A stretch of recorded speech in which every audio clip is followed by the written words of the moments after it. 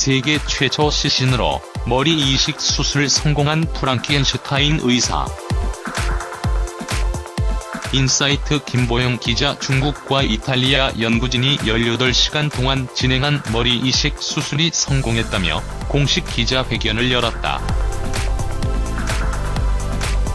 지난 17일 영국 일간 텔레그래프는 중국 할빈 의대 신경외과 교수 런 샤오핑과 이탈리아의 신경외과 전문의인 세르지오 카나베로가 기증된 시신 두 구를 이용해 머리 이식 수술에 성공했다고 보도했다. 2015년 세르지오 카나베로 박사에 의해 최초로 고안된 머리 이식 수술은 환자의 머리를 잘라 다른 몸에 이식하는 수술이다. 머리 소유자와 몸기증자의 피부, 뼈, 혈관을 잇고 두뇌와 척추신경을 연결하는 초고난도 기술이 필요하다.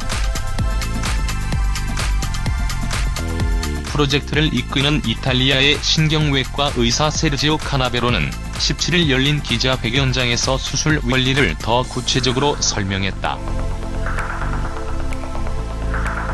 그는 2단계를 거쳐 수술을 진행했다며 한 사람의 시신에서 머리를 자른 뒤 핵으로 알려진 생물학적 접착제로 신경과 혈관을 다른 사람 시신의 몸에 붙였다고 말했다.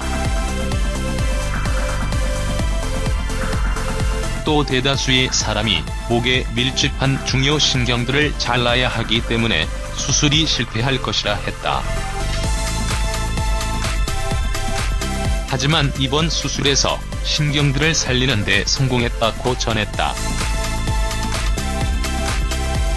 카나베로 박사는 다음 단계로 뇌사 판정을 받은 두 사람의 머리를 이식할 예정이라고 발표했다.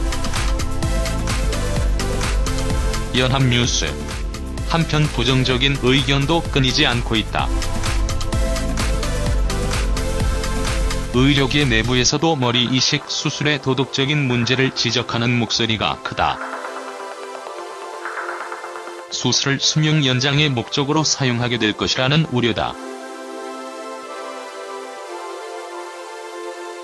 스 맨체스터 대학병원의 제임스 필드 박사는 한 사람이 머리 이식 수술을 받으려면 다른 사람이 죽어야 한다며 이 실험은 윤리적으로 옳지 않다고 비판했다.